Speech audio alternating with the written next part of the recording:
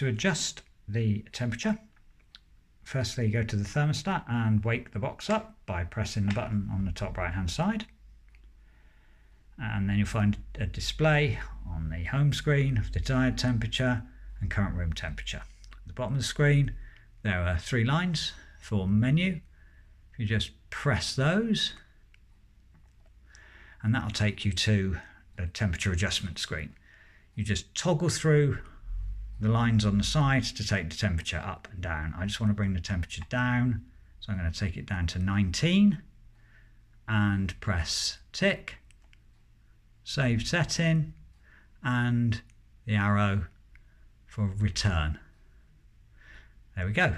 That's changed the desired temperature. And from there, just switch the box off.